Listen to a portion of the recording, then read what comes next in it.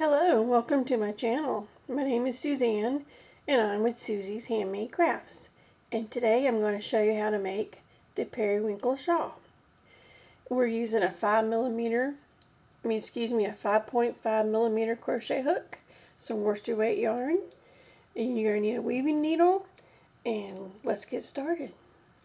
In this pattern you're going to use just a double crochet and it's um, basically you can make it as large as you like and, and you just get started with a chain three.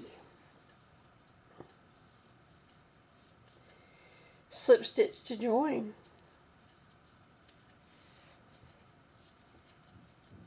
Now you're going to chain up two and into that circle you're going to place two double crochets. Next, you're going to chain up two, turn your work, and into the first stitch, place two double crochets. It's a corner stitch. Next, you're going to place a double crochet into the middle stitch and into this very last stitch, which you gotta try to find. It's kind of hard to get to you're going to place two double crochets.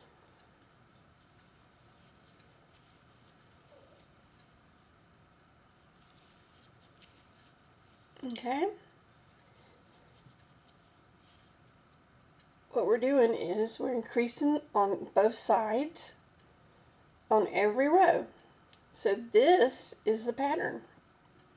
So it's going to be two double crochet in the first stitch, one double crochet in each stitch to the end and in the last stitch a double crochet in each. We're going to together we're going to complete a few more rows. So you're going to chain up two. Turn your work into the very first stitch two double crochets.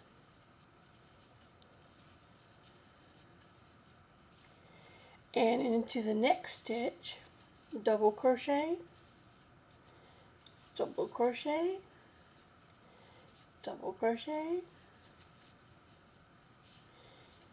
And you have two stitches left. The last corner and the one before there. So go ahead and put the last double crochet.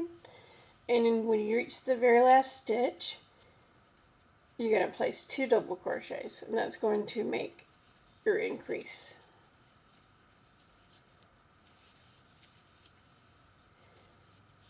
and it's already starting to grow.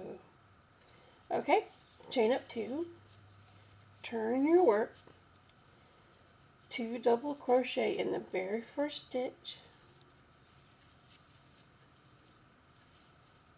then you want to double crochet in every stitch across until we get to the very last stitch. And in that stitch we're going to place two double crochets together.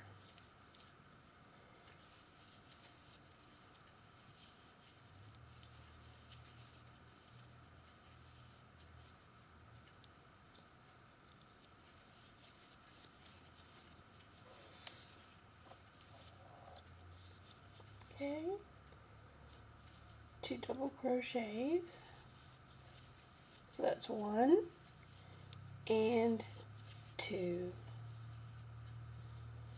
okay. Chain two.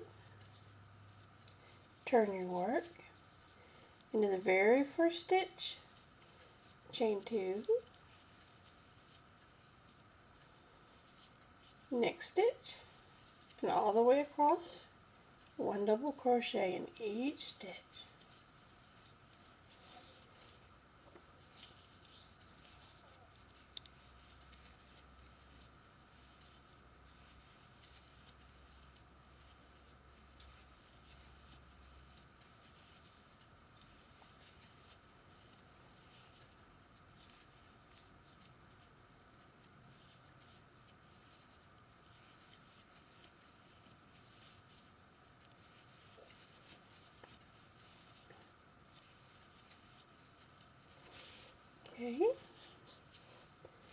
We've got two more stitches to go.